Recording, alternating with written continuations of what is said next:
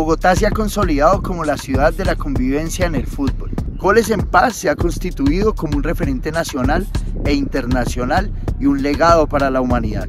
Queremos mostrarle algunos de los principales logros del programa. Como equipo estadio articulamos entre las diferentes barras futboleras y las entidades distritales en los escenarios de fútbol de la ciudad.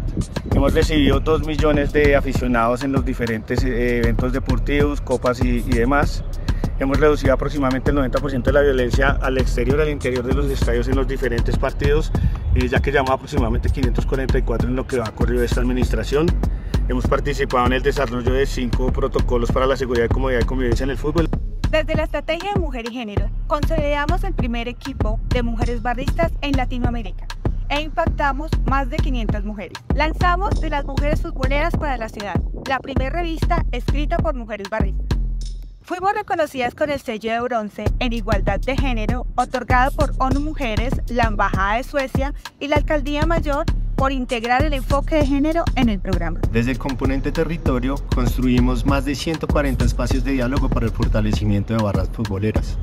Acompañamos más de 260 reuniones de instancias de participación entre mesas y consejos locales de barrio. Intervenimos 22 instituciones educativas para promover los valores y principios inherentes al fútbol. Bogotá es la capital del fútbol en paz y tiene mucho que contar.